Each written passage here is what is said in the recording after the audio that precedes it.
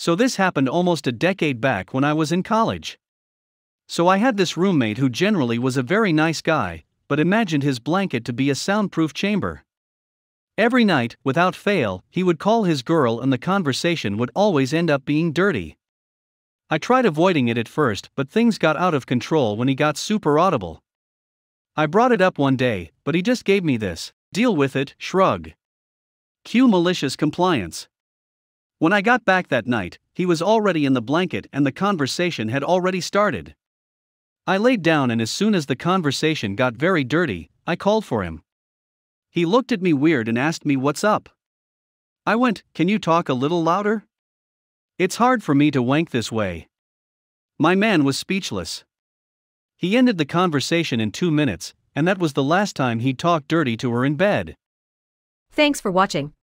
Don't forget to like, subscribe, share, comment, upvote, thumbs up, retweet, eat meat, and have a great day.